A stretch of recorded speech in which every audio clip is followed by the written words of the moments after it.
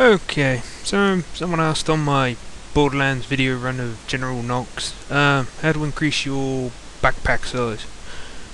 Uh, what I use is the Rick's Game Stuff Borderlands Save Editor Revision 10. There is also one by Willow, or it's called the Willow Tree Editor. I don't like that as much.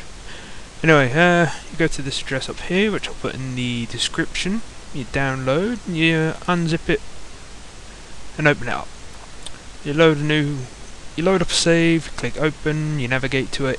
Under Windows 7 it's, uh, what is it, users, username, my documents, my games, Borderlands. If you're in XP then it's just in my documents, my games, blah blah blah. You open that up and you'll get save slot, character, level, experience, skill points, money, where you are, and backpack size. You just change that to whatever you like. You also got new U, weapons, items, ammo schools, skills, blah blah blah. There, you just change that to whatever you want. I got 900 here because I'm going to do do another General Knoxx run.